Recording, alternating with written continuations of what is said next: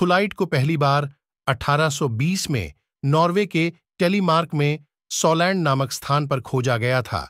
इसका नाम थुले के पौराणिक द्वीप के नाम पर रखा गया है, इस विश्वास के साथ कि यह द्वीप स्कैंडिनेविया है। थुलाइट का उपयोग आभूषणों और सजावटी वस्तुओं के निर्माण में रत्न और नक्काशी सामग्री के रूप में किया जाता है।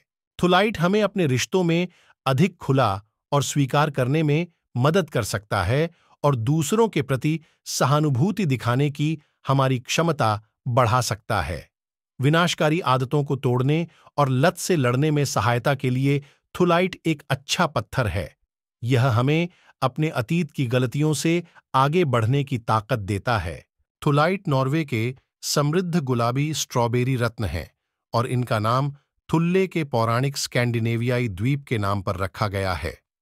विश्व स्तर पर तेज़ी से लोकप्रिय थुलाइट नॉर्वे में प्रसिद्ध है, जहाँ यह देश का राष्ट्रीय रत्न है, साफ़ क्वार्ट्ज। इसकी ऊर्जा को साफ़ करने और बढ़ाने के लिए थुलाइट को साफ़ क्वार्ट्स के समूह पर या उसके पास रखें। क्लियर क्वार्ट्स थुलाइट को शुद्ध करने और रिचार्ज करने में मदद करेगा।